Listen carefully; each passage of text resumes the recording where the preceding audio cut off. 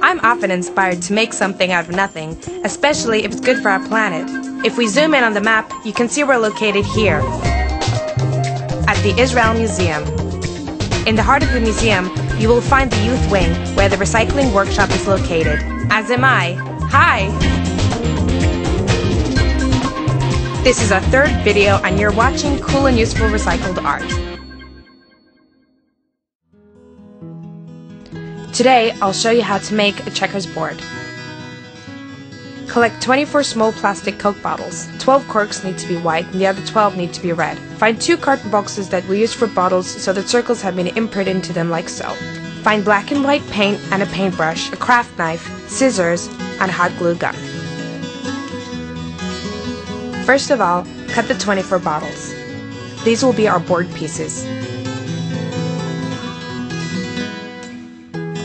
Start with the craft knife and continue by using scissors.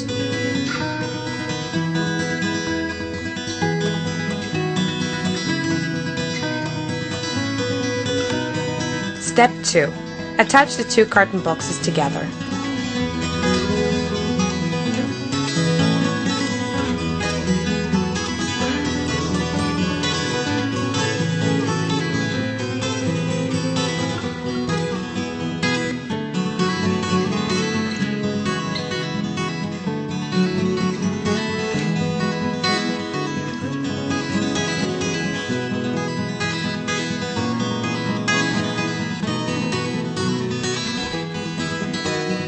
Step 3. Paint your checkers board with a black and white paint.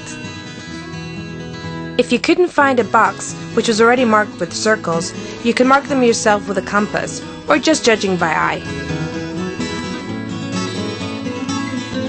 And you're ready to play. You're welcome to visit us at the museum and join in our recycling workshops, which you can read about here under the Youth Wing section www.imjnet.org.il.